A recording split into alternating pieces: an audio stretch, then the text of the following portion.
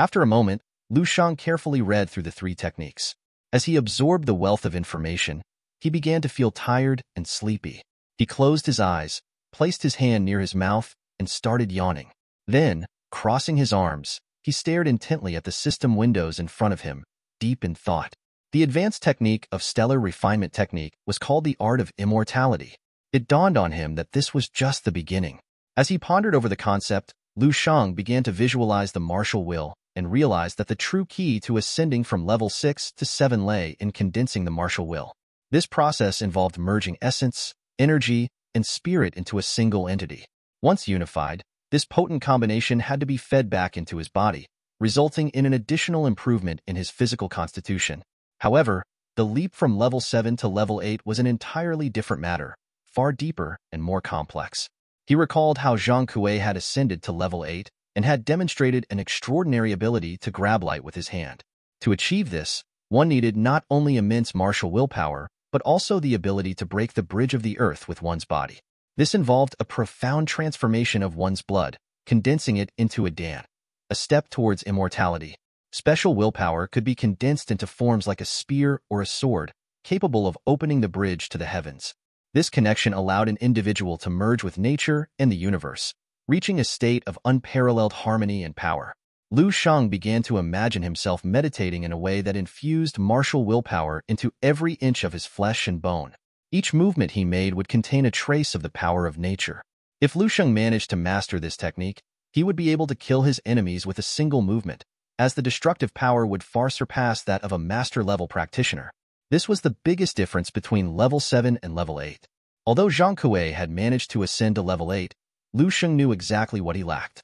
Turning his head to one side with a serious expression, he pondered how Zhang Kuei had forced the improvement of his body, which had left him with a deficient foundation. In reality, Zhang Kuei could not be considered a true level 8 Grandmaster. This realization was crucial for Lu Sheng's understanding of the path he needed to follow. With his hand under his chin, Lu Sheng began to read carefully the information displayed on the system window. Several minutes later, the expression on his face changed drastically. He began to shout with excitement as he discovered that immortal cells were the key to true mastery. This was the true inheritance of the stellar refinement technique. The introduction of the concept of immortal cells was essential for achieving a state where even if a star extinguished, he would not perish. Even if all things withered away, he would endure.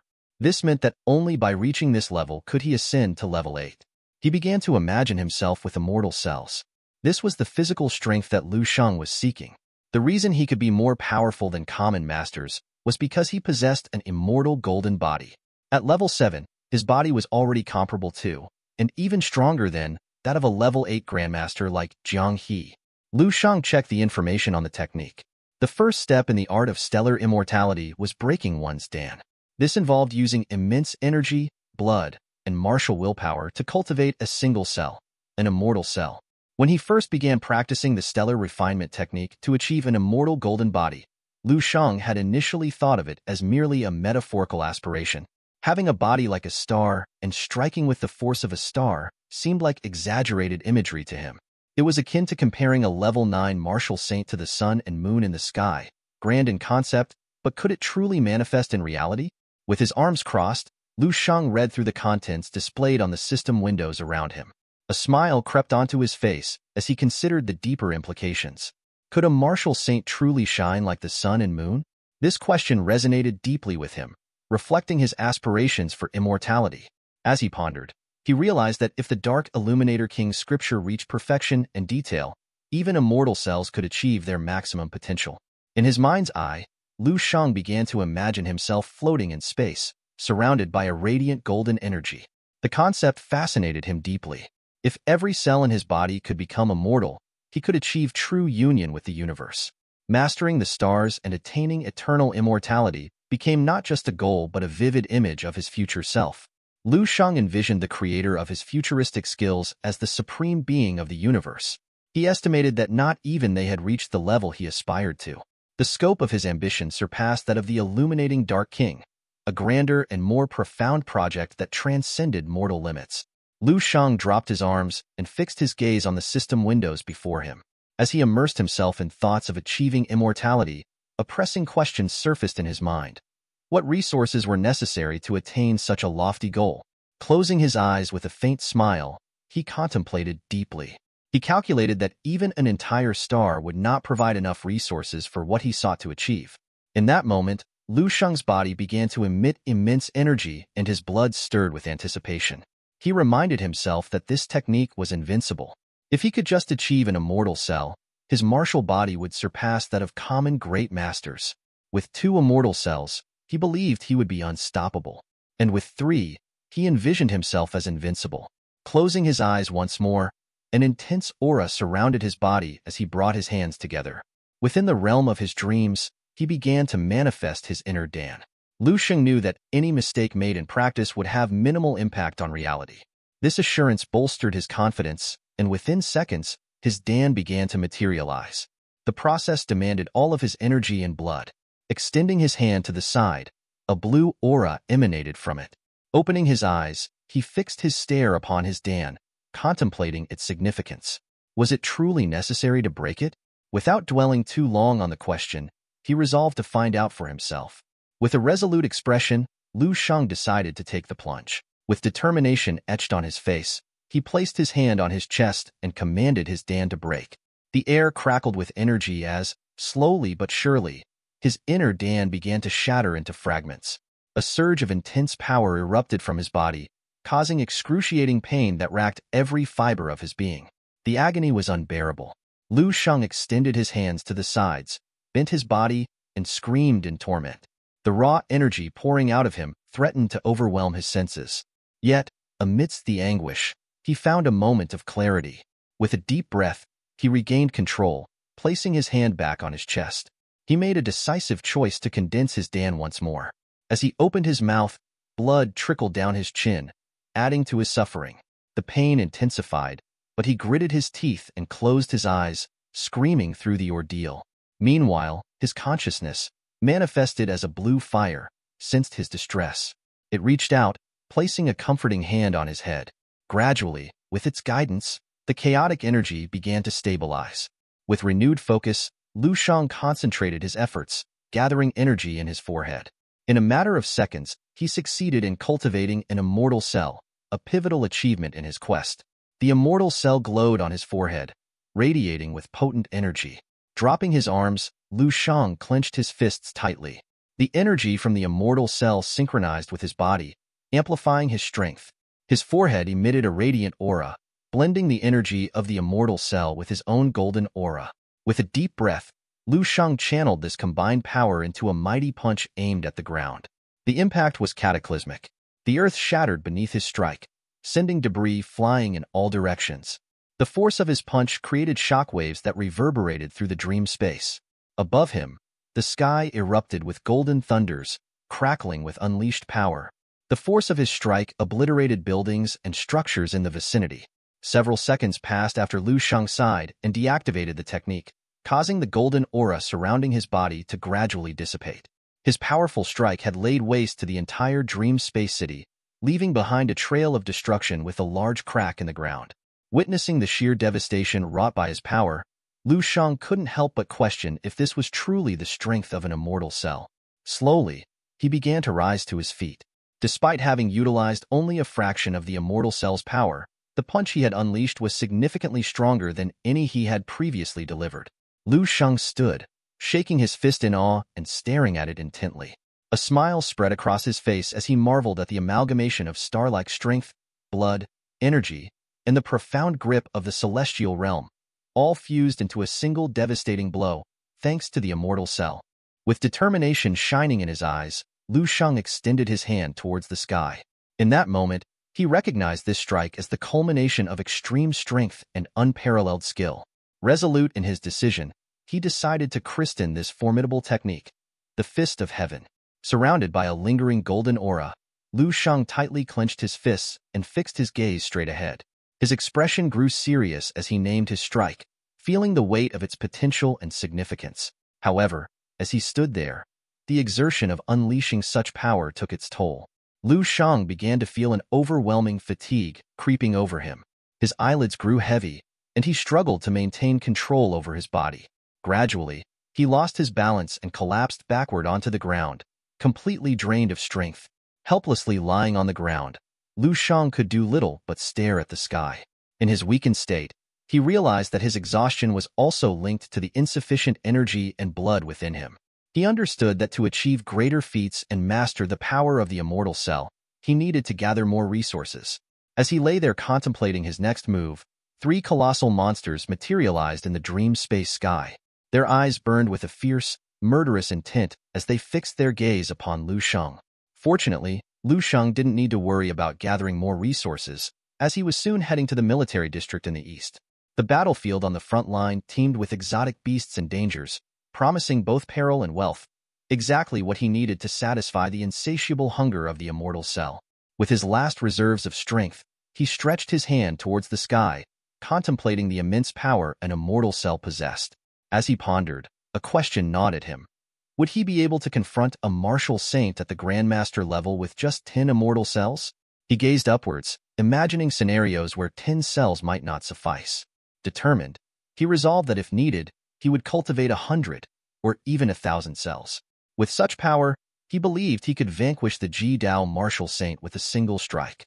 But for today, he decided to take it one step at a time. Closing his eyes, Lu Shang departed from the dream space and woke up in his room. Sitting on his bed, he turned a glance at the clock. Seeing the time, he raised a hand to his head, realizing he had slept for a satisfying 12 hours. With a serious expression, he activated his senses, causing a blue aura to emanate from his body. This allowed him to observe his surroundings clearly. In the room, he saw his father deeply engrossed in a game of chess with someone, his sister Lu Qinghe wearing headphones, her eyes closed as she danced in the yard, and his mother busy cooking in the kitchen. Assessing the situation, Lu Shang concluded that the henchmen of Ji Dao were unlikely to come after him. He placed a hand on his knee, turned his head to admire the view outside the window, and reflected that the Ji Dao martial saint would not risk tarnishing their reputation by engaging in a deadly battle with a 19-year-old over two relatives who were ultimately disgraceful. Lu Sheng swung his legs off the bed, slid into his flip-flops, and contemplated the upcoming encounter with Lien Su. Unlike the serene demeanor of the extreme martial saint, Lien Su promised to be a more volatile challenge. Determination etched on his face, Lu Sheng shrugged into his shirt and left his room, descending the stairs with purpose. His goal was clear. He needed to neutralize the threat at its source, finding an opportunity to thwart Lien Su's plans. Entering the kitchen, Lu Shang grabbed a bun his mother had prepared. With a tray in hand, she glanced at him disapprovingly, lamenting his habit of leaving without eating properly. Ignoring her concern, Lu Shang acknowledged her with a nod and turned away, munching on the bun as he moved through the house. Passing by the living room, something on the television screen caught his eye. He turned swiftly to see the news displaying an interview with He Ling Su. Taking a bite of the bun, Lu Shang watched with a smile spreading across his face. It had been a while since he had seen He Ling Su, and he suddenly found himself with something specific to discuss with her. Several hours later, Lu Shang made his way to He Ling Su's laboratory. Stepping through the doors, he was greeted by a nervous receptionist with brown hair. Her demeanor shifted noticeably upon seeing him, her hands instinctively going to her chest as she nervously asked how she could assist him. Lu Shang regarded the receptionist calmly before inquiring about He Ling Su's whereabouts. As she looked at him more closely, she found herself taken aback by his handsome appearance. Blushing slightly, she gestured towards He Ling Su's laboratory and stammered that He Ling Su was indeed inside. She offered to escort him there, but before she could finish, Lu Shang politely declined. With his hands casually tucked into his pockets, he turned and began making his way towards the laboratory on his own. Meanwhile, another receptionist with blue hair, namely, approached her flustered colleague. Li placed a hand near her mouth and whispered, playfully teasing her about being mesmerized by Lu Shang's presence. The mesmerized receptionist snapped out of her trance, blushing furiously at being caught off guard. Li continued, asking if she had been enchanted by Lu Shang's charisma. Her colleague, still flustered, admitted to being captivated by him and inquired about his identity. Li pointed upwards with a smile, recounting the rumors that Lu Shang was He Ling Su's distant cousin. According to hearsay, Lu Shang was not only exceptionally handsome but also a martial arts prodigy. He had claimed the championship in the Dragon Kingdom martial arts tournaments and recently emerged victorious in another prestigious martial arts competition. As the receptionist listened to Li's words, her blush deepened even further, her admiration growing. She turned her gaze towards Liu Shang with newfound admiration, wondering if he truly possessed such impressive credentials. Her heart fluttered at the thought of encountering him again, eager for another glimpse of the enigmatic young man who had left such a profound impression on her. In the quiet hum of He Ling Su's laboratory, she stood focused, clad in a pristine lab coat, holding a test tube filled with a vibrant green liquid. Her mind wandered deep into contemplation, absorbed by the complexities of the experiment before her. The faint glow of the fluorescent lights overhead cast a soft illumination on her features as she delved into her thoughts. Suddenly, the tranquil atmosphere was interrupted by the arrival of Lu Sheng. Stepping into the laboratory, he cut a determined figure, his presence drawing He Ling Su's attention away from the test tube. He asked succinctly if everything was prepared, his voice breaking the silence and prompting He Ling Su to refocus her gaze upon him. Startled out of her reverie, He Ling Su turned towards Lu Sheng, meeting his eyes with a calm demeanor. With a gentle gesture, she confirmed that everything was indeed ready, assuring him that all necessary components were in place. Acknowledging the effort He Ling Su had put into the preparations, Lu Sheng donned his own lab coat, approaching the test tube to inspect her work. He complimented her on the meticulousness of her setup, expressing genuine appreciation for her dedication to their shared endeavor. As Lu Sheng observed the contents of the test tube, He Ling Su moved closer, standing beside him.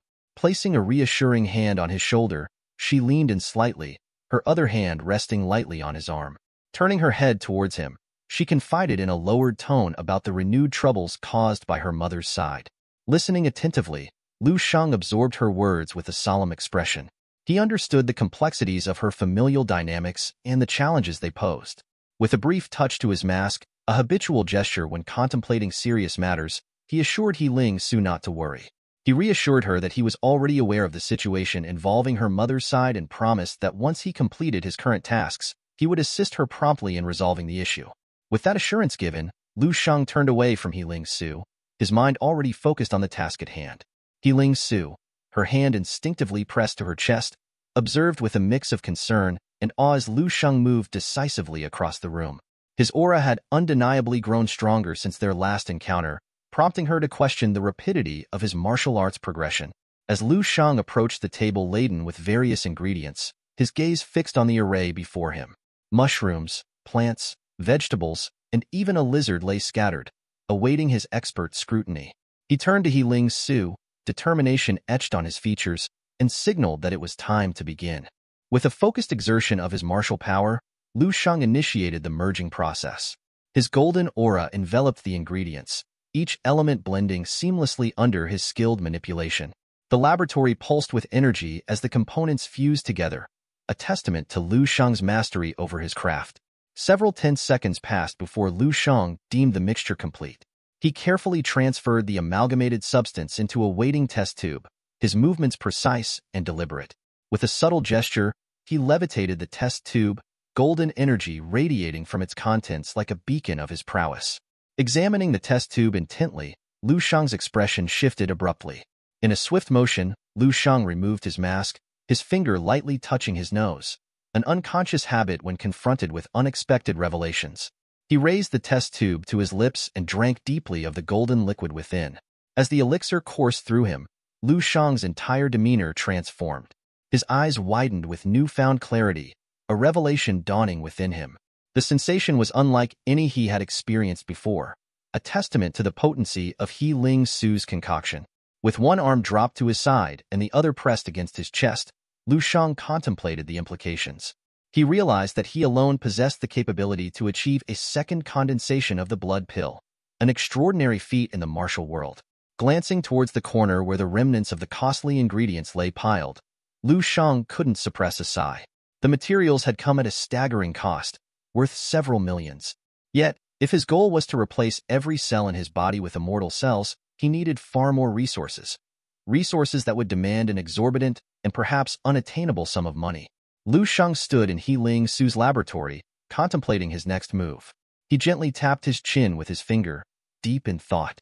He recalled the modest earnings from He Ling Su's business, realizing it amounted to only a few billion units per year. This realization left him somewhat disappointed, considering the vast resources he needed to further his goals. Suddenly, a spark of inspiration hit him. He closed his eyes briefly, remembering something he had read online. There were rumors that skilled individuals could earn substantial wealth on the battlefield. The idea intrigued him. With a determined expression, he opened his eyes and clenched his fist against his palm. He knew there was no time to waste. Without hesitation, Lu Sheng slipped his hands into his pants pockets and turned away from He Ling Su. He made his way towards the laboratory exit, his mind set on exploring this new opportunity. He hoped that the information he had read wasn't misleading. Several hours later, Lu Sheng found himself at Baihe Airport. Sitting in the bustling waiting room, he observed people engaged in conversations or moving about hurriedly. He crossed his legs, settled comfortably, and pulled out his phone. Determined to gather more information, he began searching online. Minutes passed as Lu Sheng scrolled through his phone, absorbed in his search. He decided to contact Commander Yu Fei, hoping to discuss the potential for joining the battlefield. However, his call went unanswered. Perplexed, he stared at his phone screen. It dawned on him that Commander Yu Fei must be incredibly busy, possibly due to urgent matters on the battlefield. With a hint of concern, Lu Sheng contemplated the situation. It seemed the original plan for Dong Qingxue and Qin Xiaojun to pick him up had likely changed amidst the unfolding events. He wondered if a critical situation had arisen, prompting their immediate deployment. Standing amidst the airport's bustling environment, Lu Shang paused. He withdrew into his thoughts, one hand still in his pocket while the other held his phone. He glanced around, observing people going about their daily lives, seemingly unaffected by the uncertainties of martial challenges and battlefield dynamics.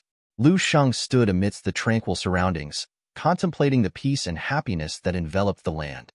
He understood that this serene moment was not merely happenstance, but the hard-earned result of countless soldiers sacrificing their blood and lives on the battlefield.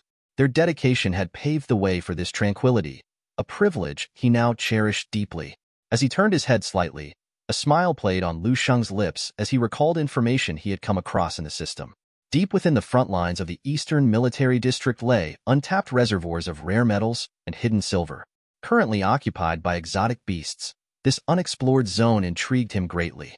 In his mind's eye, Lu Sheng envisioned himself as a miner, delving into the uncharted territories. He reasoned that if he desired to amass substantial wealth swiftly, this area held immense promise. After all, it remained untouched and ripe with potential. At that moment, the atmosphere at the airport was electrified as a military fighter jet touched down on the runway with a thunderous roar. Travelers and airport staff alike paused to watch the unexpected arrival. Among them, a girl with long, flowing hair approached a window near Gate 12. Resting her arms on the sill, she peered out with wide eyes, a mixture of awe and confusion on her face. Turning to her friend, who stood nearby with a bag slung over her shoulder, the girl exclaimed in a hushed tone, why is there a fighter jet here? Her friend, facing away from her as she began to walk towards their departure gate, half turned her head over her shoulder and replied, Our plane has landed. Maybe there's some special mission. Her words hung in the air as she gestured for her friend to follow. Let's go. Boarding has been announced, she added, her voice carrying a note of urgency. Meanwhile, across the bustling airport lounge, Lu Sheng sat quietly in a corner. Tall and casually dressed, he watched the commotion with mild interest. As the girl turned her body to the side, her eyes caught sight of Lu Sheng. She was taken aback by his striking appearance. His dark hair tousled just enough to give him a rugged charm, and his thoughtful expression hinting at a deeper introspection. Intrigued, the girl nudged her friend and nodded towards Lu Sheng. Look at him, he's handsome, she whispered. Together, they approached Lu Sheng with a confident stride. Hey there, handsome boy, the girl greeted cheerfully, a playful smile on her lips. Want to join us? she added, her tone light and inviting. Where are you headed? Lu Sheng, momentarily lost in thought, snapped out of his reverie at the sound of her voice. He turned towards them, his gaze shifting from one to the other as he tried to place their familiarity. With a warm smile, he responded politely, I'm not on the same flight as you. The girl, undeterred, glanced towards the window with a mischievous glint in her eye. There's only one flight just announced, she teased, winking at Lu Sheng. Noticing his hesitation, she playfully jabbed, So, which one are you taking then? Her friend stifled a laugh, covering her mouth with her hand and closing her eyes briefly. She couldn't help but find Lu Sheng intriguing. At that moment, the sound of jet engines reverberated through the airport as the fighter jet approached the designated area and gracefully came to a stop just outside the terminal window. Moments later, the pilot opened the cockpit and turned towards the group of people standing beside Lu Sheng. With a warm smile, he raised his hand towards the sky, waving in their direction. Upon seeing the pilot's friendly gesture, the two girls standing beside Lu Sheng hurriedly approached the glass window, their hands pressed against it in astonishment and confusion. The girl with the bag slung over her shoulder couldn't help but voice her wonder aloud, questioning why the pilot was greeting them. Her companion, equally perplexed, pondered silently about the pilot's identity and intentions. In a swift turn of events, Lu Sheng exited the airport waiting room and appeared on the runway, drawn by the commotion outside. As he approached, the pilot disembarked from the fighter jet and started walking towards him. Lu Sheng, his hands casually tucked into his pockets, maintained a serious demeanor as he advanced to meet the pilot. The sight of the pilot approaching him left the two girls utterly shocked. They exchanged bewildered glances, struggling to comprehend the surreal scene unfolding before them. Closing the distance between them, the pilot extended his hand towards Lu Sheng, initiating a handshake.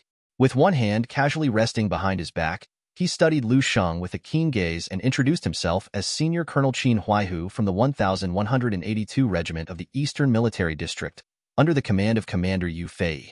As they shook hands, Qin Huaihu's warm smile widened when Lu Sheng, with a curious grin, asked if he was related to Qin Xiaojun. Qin Huaihu affirmed with a chuckle, explaining that they were indeed uncle and nephew. Taking a closer look, Lu Shang noticed the insignia on Qin Huaihu's shoulder, a badge adorned with three arrows and a dot indicating his rank was one level higher than Dong Qingxue and others they knew. Qin Huaihu turned away from Lu Shang, his steps purposeful as he headed towards the waiting fighter jet parked on the tarmac. Observing Qin Huaihu's departure, Lu Shang turned his body slightly, calling out to him. He inquired with a hint of curiosity if their destination was now the Eastern Military District and why they hadn't sought him out earlier. Turning his head back towards Lu Sheng, Qin Huaihu explained calmly that they weren't bound for the Eastern Military District after all. His gaze shifted upward towards the sky, his expression growing serious. He proceeded to enlighten Lu Sheng about the critical situation unfolding on the front lines due to new rifts appearing in the cave. Commander Yu Fei had been engaged in fierce battles there for several days. Their team's mission was to reinforce the front lines, and Qin Huaihu emphasized that he would personally escort Lu Sheng there. Lu Sheng, maintaining his casual demeanor, slipped his hands into his pants pockets as he began walking towards Qin Huaihu. With a relaxed tone, he queried how long it would take them to reach their destination. This question seemed to catch Qin Huaihu off guard, and he turned fully towards Lu Sheng, his expression a mix of astonishment and concern. He asked directly if Lu Sheng wasn't afraid of what lay ahead. Pausing momentarily, Lu Sheng distanced himself slightly from Qin Huaihu, his gaze shifting to the ground briefly before he responded calmly. He admitted he wasn't afraid at all, in fact, he expressed a genuine desire to join the front lines.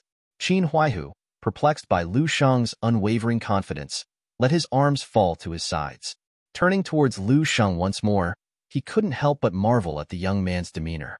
Bringing his hand closer to his face, he scrutinized it thoughtfully. Memories flooded back of his own battles on the battlefield over the years. Despite his experience, he had only reached the peak of level 6, far from the threshold of becoming a master.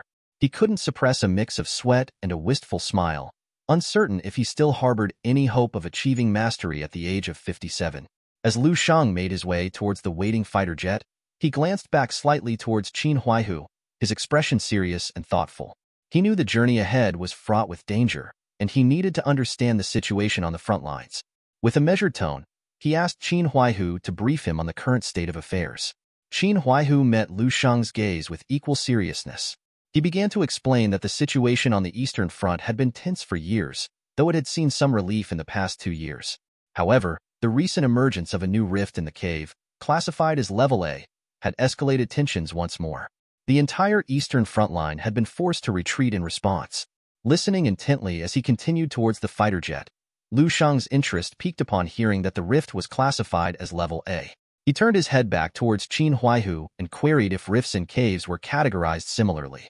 Qin Huaihu extended his hand calmly, confirming that rifts were indeed classified based on their scale and the strength of the exotic beast within them. For a level A rift, beasts of at least level 5 would emerge, and the depths of such caves held unimaginable challenges. Qin Huaihu noted that the most formidable rifts were triple S level, thankfully absent in Commander Yu Fei's territory. Perplexed by this information, Lu Shang sought clarification, asking what exactly an A-level rift entailed. Qin Huaihu locked eyes with him, gesturing towards the sky as he began to illustrate the severity. He explained that even a level 8 Grandmaster would risk death in an A-level rift. Lu Shang turned fully towards Qin Huaihu, taken aback by the gravity of the situation. He questioned if an A-level rift was truly that terrifying. Considering the implications, he concluded that higher levels like double and triple A and even S-level rifts would pose insurmountable challenges even for a martial master at level 9. Qin Huaihu extended his hand towards Lu Sheng, his demeanor calm and collected as he replied. He acknowledged that theoretically, the scenario Lu Sheng described could happen. However, he emphasized that in practice, no grandmaster or martial artist would willingly venture deep into the rifts. As long as one stayed within safer limits, even an average martial artist of level 5 or 6 could survive in a level A rift. Lu Sheng listened intently to Qin Huaihu's explanation, his expression thoughtful.